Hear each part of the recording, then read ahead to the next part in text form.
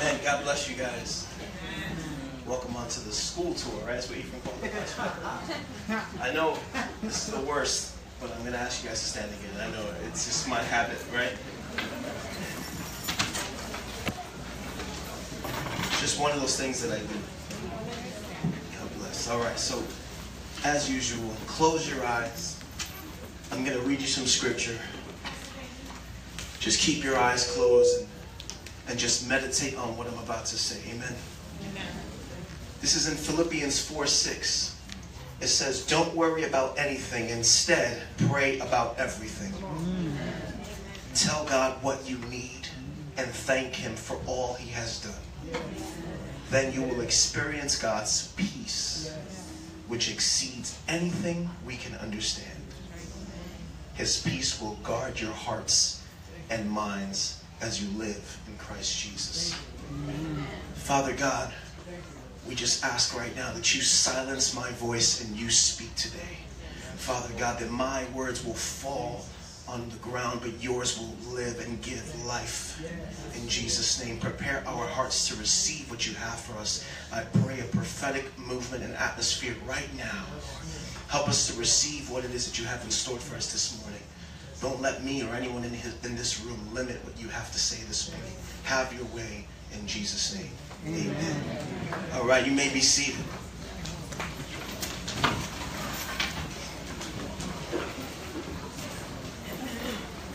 Oh, wooden chairs. It's dope. It's dope. It's a throwback. Did anybody have to do this in school? Did anybody do this? Or, the, or this, right? Did both of them? It just means be quiet. Guys, I don't need to tell you that we've been having a very weird, difficult season. And, and what's funny is that it, it seems like, yes, as a church, but also as individuals, that everyone's story is, is so unique and so crazy. And it's, even in my own life, I see that what God is doing is just insane. And we're all seem to be in this season of uncertainty. Can anybody agree with that? Uncertainty? Where sometimes you don't you don't know what's going to be happening, right? We have to, as Pastor said, we log in onto our Facebook to see where we're going to be meeting this week. We don't know where we're going to be as a congregation. Sometimes some of us, some of us are going through some stuff. We don't know what we're going through in our own lives, and so we're just asking God, God, what, what are you doing? And the thing is, I'm not. If you know me at all, and you've maybe heard me preach, you heard me admit to you guys that I I don't like uncertainty.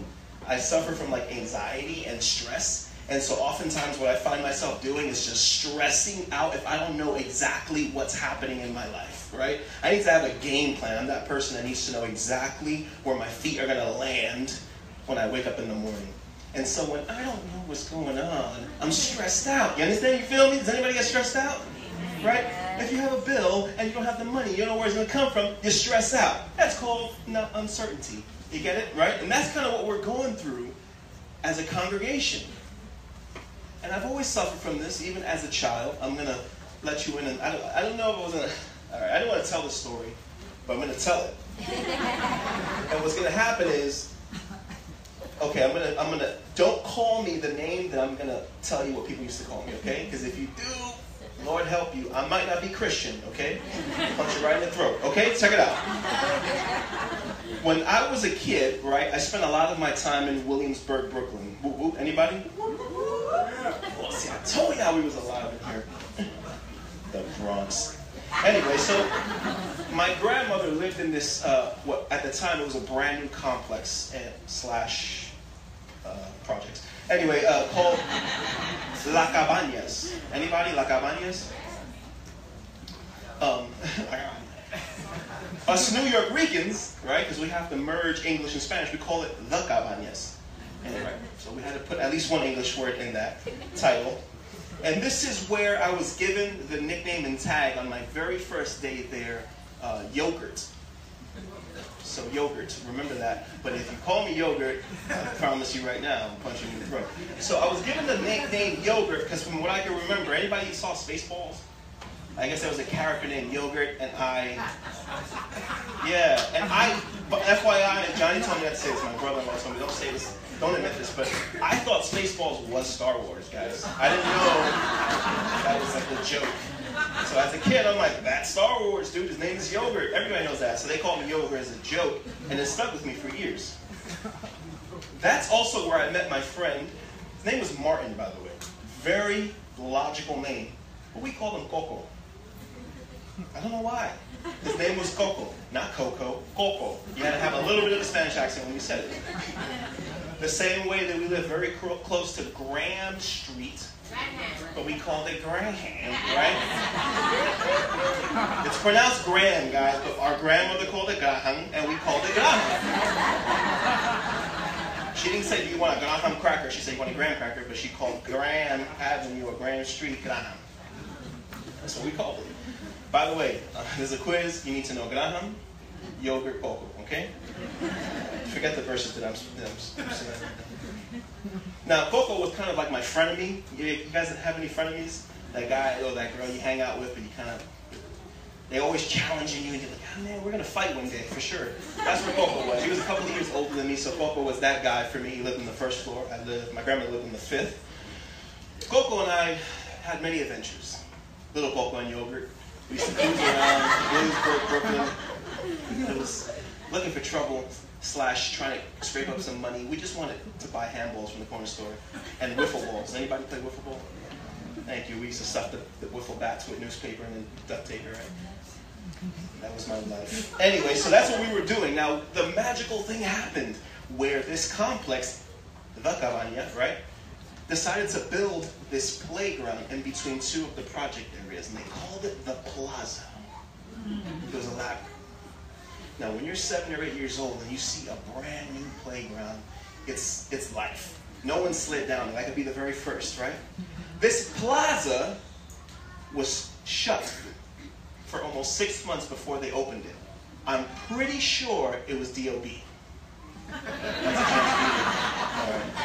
So if you don't know, DOB shut us down, right? Because that joke failed. Don't make fun of DOB. Okay, okay, so we won't make fun of DOB, but they, so I'm pretty sure it was DOB who didn't allow it to open. So now imagine six, seven years old, eight years old, was whatever, 10. We want to play in the playground and it's closed. So we did what any Christian, God-fearing, loving child would do.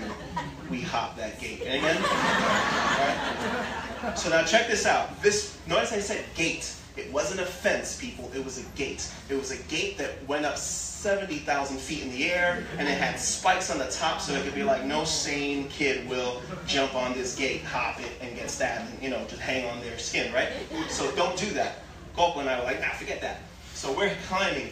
Going up was amazing. It was like easy. Now I'm on top, and I literally see it's like I'm on a roller coaster. I could see just people like this, and I'm going, no, right? And now I'm shaking on the on the top spike, just holding it. Coco, who was a little older than me, was a little more bold, was on the other side, and he was already in the bottom, like, yo, yogurt, just jump.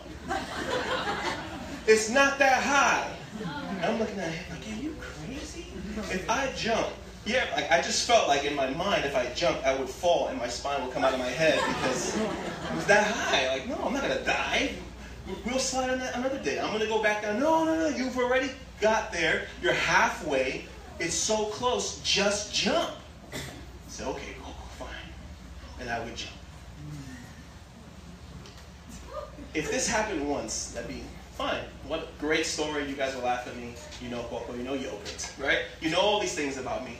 But it didn't happen once. In that six month period, we did it at least once a week. It happened every time. And not just once that time, because I had to go back. The gate didn't suddenly open when we got in. I had to climb the gate again. Another half an hour for me to jump the gate again.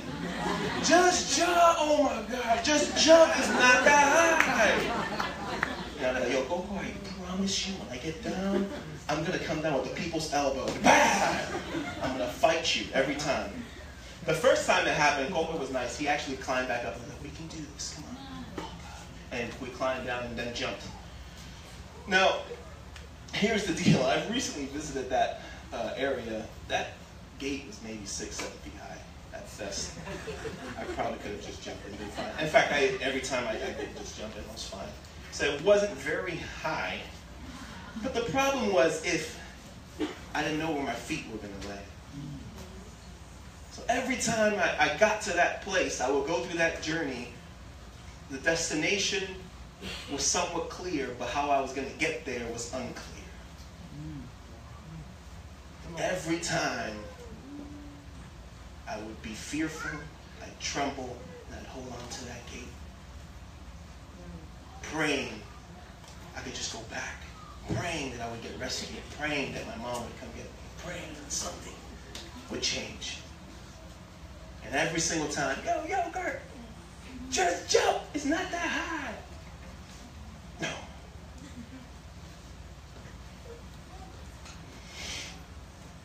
You see, if you're like me, that's your life too. A couple of weeks ago, man, I'm telling another story. A couple of weeks ago, I was eating uh, dinner with my wife, and we went to Panera. Write that down. Panera. Panera. Coco. Yogurt. Graham. Oh, that's a good one. I didn't know. The Plaza. La Cabana, La Cabana. So we're at Panera, we're eating dinner, and we're having this really deep conversation, and we're at, and and and it's becoming like an intimate conversation where we're really getting into our fears and our what we're we, you know we're talking about the future, right? You ever have those? And for whatever reason, oftentimes when my wife and I have these kind of conversations, sometimes it can go south. Like it can kind of lead to depression almost, like because you start thinking, man, but how the heck we're gonna get all the stuff that we want, right? How do we and you start thinking about everything you don't have and the journey that it'll take to get it, right? So you think, man, I thought by now I'd be a movie star. If I don't get it, why I'm not on TNT, you know? Why nobody wants to know about me? I thought by now I'd be shredding on the top of a mountain, getting paid to do so. And I'm not doing that. So I'm like, God. So I'm starting to doubt. God, come on. What do you have for me? How, how come I have these passions inside of me, but no way to you know, fulfill them, no way to get to that final destination or to that destination that you've clearly given me that I feel like I've been running towards for years of my life. And as I'm complaining in my mind, all of a sudden God stops me and says, you know what, maybe those things, those dreams, they're not just your desires. They're the things that I've placed, that I've placed inside of you. You see, dreams you got to understand about some of the visions that we have, right? Sometimes when you think about like a pastor, do you think that you would want to be a pastor? Who in there right now wants to be a pastor? You understand? Take a look at this room and ask yourselves, do I want to deal with these people on a weekly basis and the junk that and, the, and then he has to stress about all these things, but yet he felt like, God, I think I want to be a pastor. That's not him. That's God saying, that's what I have called for you. And that passion all of a sudden develops and you start getting the know-how and then God starts preparing you, right? Those are the things that God gives you. He's placing that inside of you. He says, I'm preparing you for something, son. Mm. Don't worry about the destination. I'm getting I'm gonna get you there. You see, in Psalm 55, we read about David. Now, I want, I want to make something clear because I'm going to tell I'm going to tell the story because I, I, you guys know I'm kind of obsessed with David, right? So so David is, wrote this psalm, but we don't really know. See, the Bible's pretty clear about not really knowing the time frame of when this was written or what it was written about. But we know that when we read it, we read some a lot of vulnerability from David. Okay, so I want to warn you, I can't tell you exactly what the context is, right? Now, scholars, theologians, believe that it might have something to do with the fact that if you read about David in 2 Samuel 15 through 18, I'm going to give you that. 2 Samuel 15 through 18, you're going to read that at some point David's one of his confidants, one of his people, his advisors, his advisors betrayed him and his son, right? And, and, and his advisor and his and David's son basically stole the, the, the kingdom from him and, and, kind of kicked David out. I was like, peace out, Shan, boom, right? And they and they kind of played David, right? So it's, it's it's thought that it might be about that, but even if it's not, I want you to check this out, okay? I'm going to read it to you. It's kind of long, but we're going to get through it. Psalm 55 1 says, Listen to my prayer, O God. Do not ignore my cry for help! Exclamation point. Please listen and answer me, for I am overwhelmed by my troubles. So right away, David has become vulnerable, and I immediately feel his pain because I go through it too. So now all of a sudden, this David that we read about throughout the Bible, right? This man of God who, yes, has made mistakes, but is ultimately glorified by preacher after preacher after preacher, is now admitting, I'm overwhelmed by my troubles. Sound familiar? Do we get overwhelmed by our troubles? He says he's crying for help and says, God, I need you to listen and answer me, which is telling me he feels distant from God. He feels like God is not there. So he's saying, God, can you hear me? And then when you hear me, I need you to respond. How many of us know that God ain't, ain't far? But sometimes we distance ourselves from him, right? We feel like he's not there, but he is. So he's crying for help. It says, My enemies shout at me, making loud and wicked threats. They bring trouble on me and angrily hunt me down. My heart pounds in my chest. The terror of death assaults me. Fear and trembling overwhelm me. I can't stop shaking. It almost sounds like me at the top of the fence, trembling. I can't stop shaking. He's admitting he's scared. He's admitting that he is overwhelmed, that his fear and his anxiety is getting the best of him. He's asking, Where are you, God? Oh, that I had wings like a dove, that I would fly away and rest. I would fly far away to the quiet of the wilderness. How quickly I would escape far from this wild storm of hatred. He wants to get away from his problems. This man of God is not saying, I wish I could just be far away from here. Some people might translate it as that, I want to, I wish I could die. I wish I could just go with you, God. I wish I didn't have to deal with this nonsense. I wish I didn't have to deal with the day-to-day struggle, this life of uncertainty, the things that I'm going through. I wish it wasn't there, God. You're not alone. David felt that way too.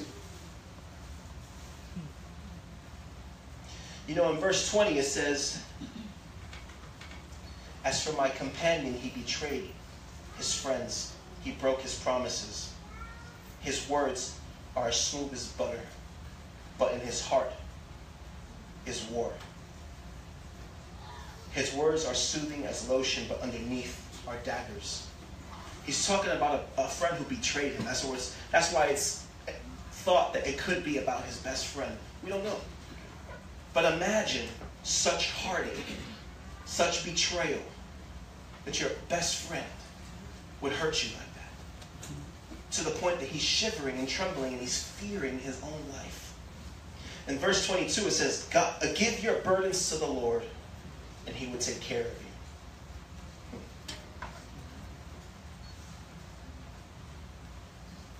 He will not permit the godly to slip and fall. But you, O God, will send the wicked down to the pit of destruction. Murderers and liars will die young, and I am trusting you to save me.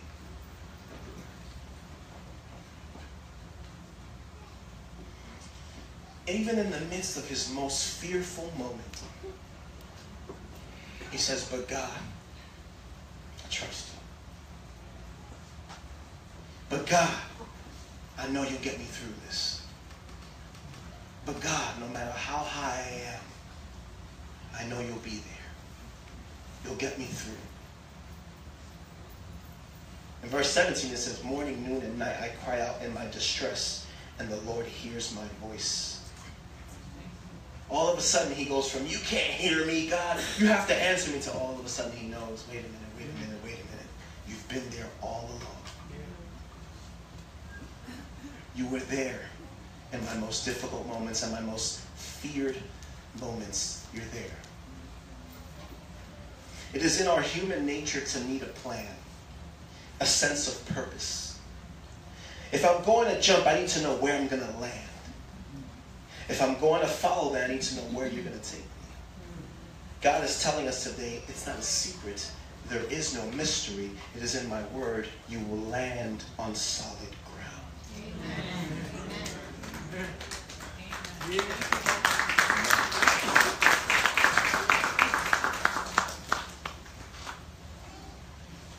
You know, I believe that in this season, don't worry, I'm, I'm coming actually to a close. I don't like preaching for too long, so. I know it's been like an hour and a half. Don't worry. I believe that in this next season, God is calling us to be radical believers. Just as David believed, I believe that the things that are impossible in this next season will be possible. I believe that what DOB has declared a lost cause, I declare it as a victory. I believe that what your income and what your title, your job title says you are, it doesn't determine your victory no longer. I see in this next season, this is a this is this God's been speaking to me a lot about prophetic prophetically about this season, this church, and the individuals within the church. Amen. Within this congregation. I see homes. You understand? Homes like uh, all of a sudden you own your house.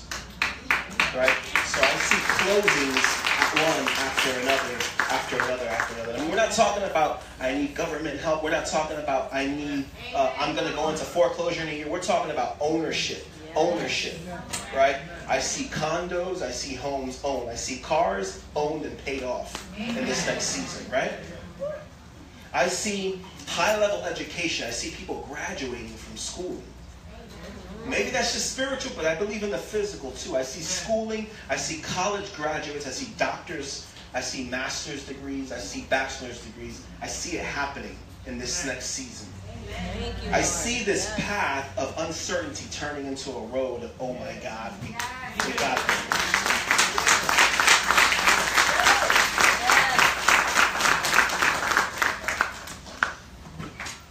I see victory over seemingly dead situations, even relationships. I see victory over relationships that are dead in your life, but you think there's no fixing that one. I see God saying, watch this, fixed. I see restoration. I see peace. I see prosperity. Very, very clearly. And in this season, if you're in the season of holding and you're asking God, I see it, right? Because we've been talking a lot about what's coming, but you're saying, but how am I going to get there? There's this long black, empty gap.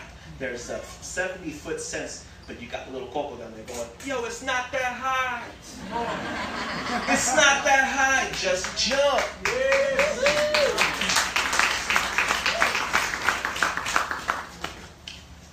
I hear God saying, What I have for you, TSF, is uncontrollable, unstoppable, and unshakable.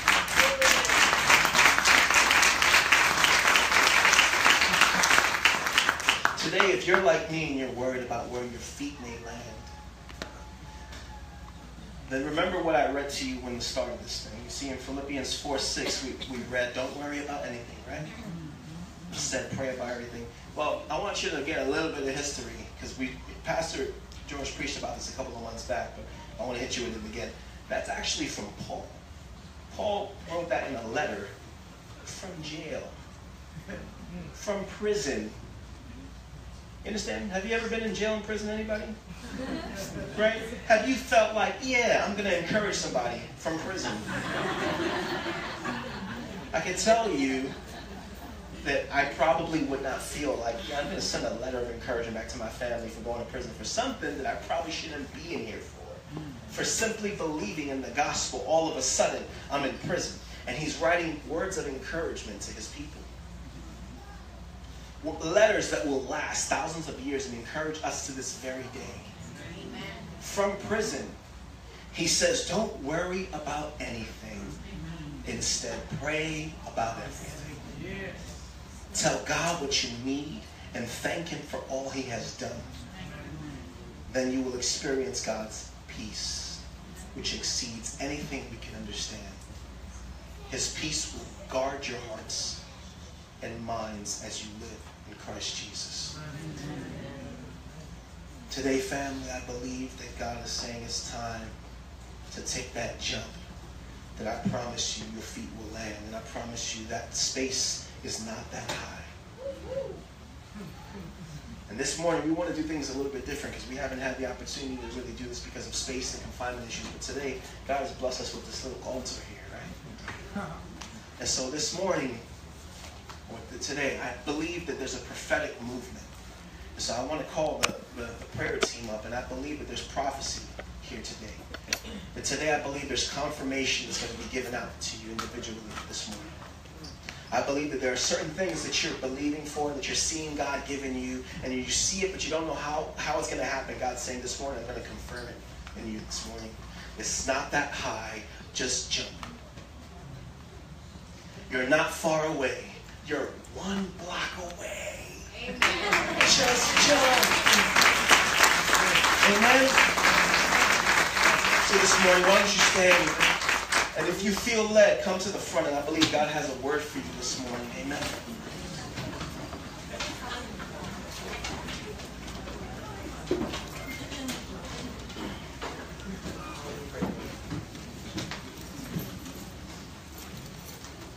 Father God, right now, I just pray that your,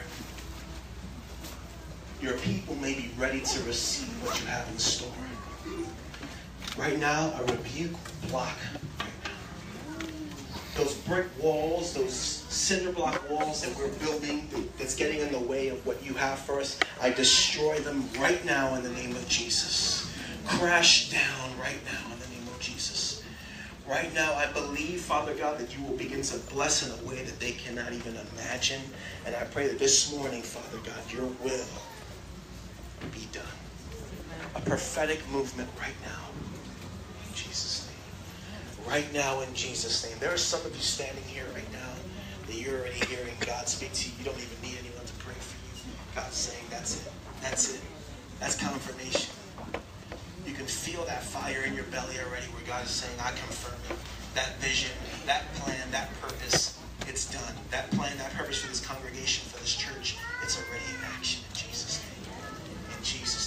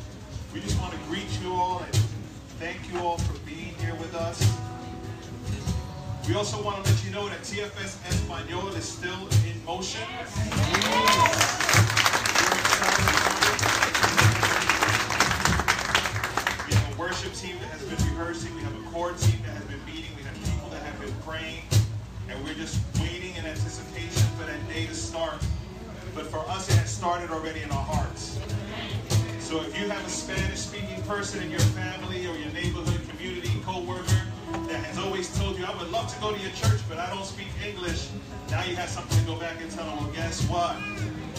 Say, habla español. We don't have an official start date yet. We're looking at sometime after Easter, but once we get back into the actual building, TSF, we will be making the announcement to start. But please continue to pray. Please continue to reach out to your grandma, grandpa, brother, sister, cousin, uncle, son, nephew, whatever it is. If they need to hear the word in Spanish, if that's what's the only if that's the only thing holding them back, there's nothing holding them back anymore. Okay? So we want you to continue praying for myself, pray for Alice and the rest of the team as well. Because our goal is to see people come to Christ. The language is secondary. The main thing is to see souls come to Christ. Amen?